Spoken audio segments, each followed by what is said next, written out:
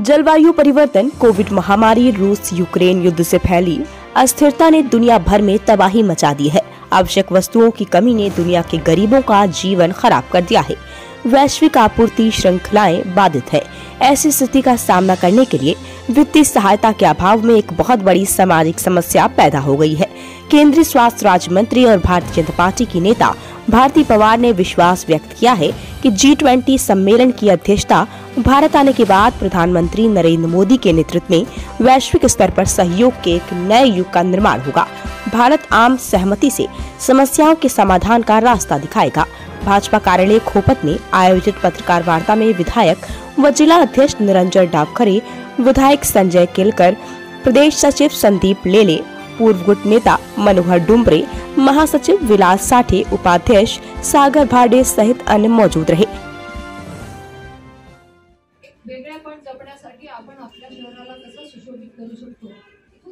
तयारी करायची आणि आपल्या सगळ्यांचा त्याच्यामध्ये सहभाग महत्त्वाचा आहे.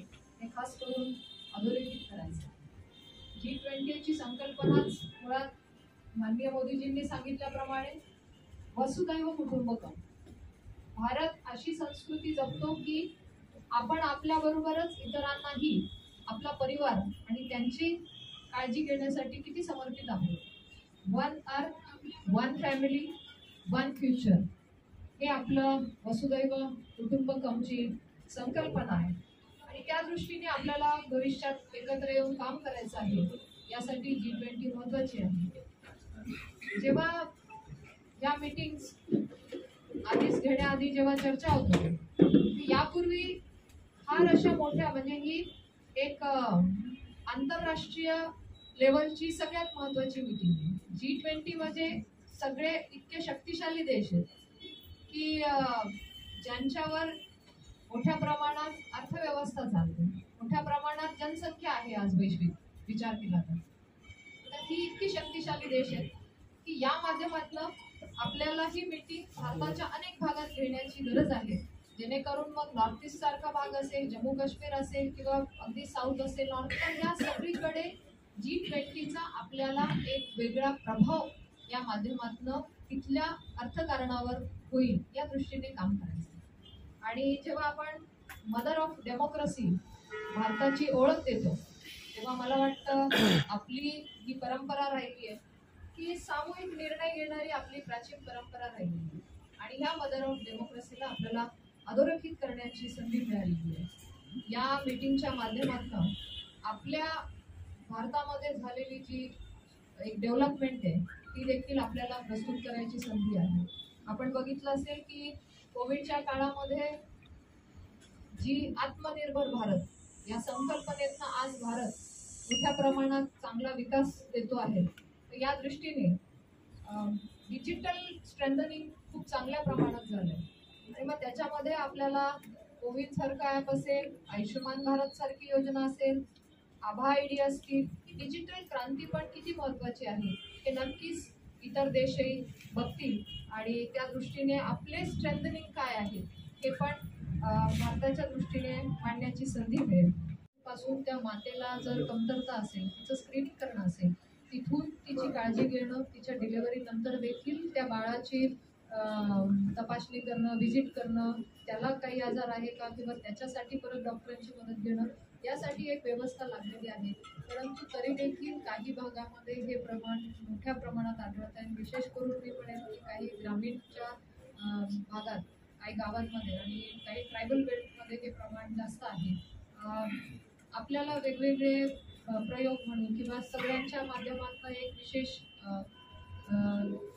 अवेअरनेस कॅम्प म्हणून इथे काम करणं गरजेचं आहे.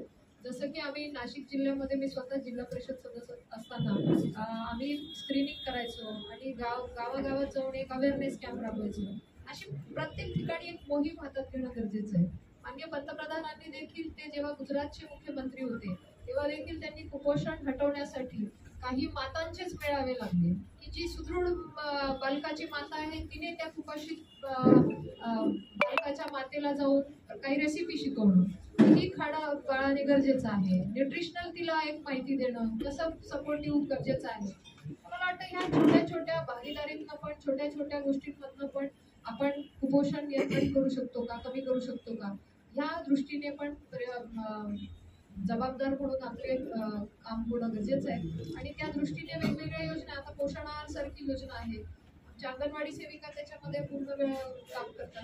आणि पोर्टल पण आहे त्या त्या पोर्टलच्या माध्यमातून आम्ही देखील केंद्र सरकारकडून आढावा घेत असतो तर अशा अनेक योजना आहेत परंतु त्या सक्षमतेने गावगावपर्यंत पोहोचवून तिथे काम करून घेणं आज आपल्या पुढे गरजेचं आहे. त्या दृष्टीने नक्कीच एन एफ एच एस जो आमचा डेटा सर्वे असतो त्या दृष्टीने आम्ही लक्ष ठेवून असतो आणि त्याच्यावर पण आम्ही बघत असतो की किती परिणाम झाला एखाद्या पॉलिसीचा. त्या दृष्टीने केंद्र सरकार मॉनिटर करत असतं. मॅडम, मॅडम अ, आहे मोठा ठाणे जिल्हा आहे कंट्रीज म्हणजे एकोणावीस कंट्रीज युरोप युनियन वीस तो समूह आहे त्याच्याबरोबर स्पेशल इन्व्हायटीज असतील ते देखील येणार आहेत. मान्यवर इथे येणार आहेत. आणि ही डिसेंबर दोन हजार बावीस ते तीस नोव्हेंबर दोन हजार तेवीस या कार्यकाळात या वर्षभरात आपल्याला अनेक वेगवेगळ्या शहरांमध्ये या मिटिंग्स होणार आहेत. आणि या मिटिंगच्या माध्यमातून जवळपास दोनशेपेक्षा जास्त मिटिंग्स आणि छप्पनपेक्षा जास्त शहरांमध्ये या मिटिंग्स होतील. आणि आपल्या दृष्टीने एका आंतरराष्ट्रीय स्तरावर या मिटिंगच्या माध्यमातून अध्यक्षता उचलण्याचं आपल्याला संधी मिळालेली आहे. G twenty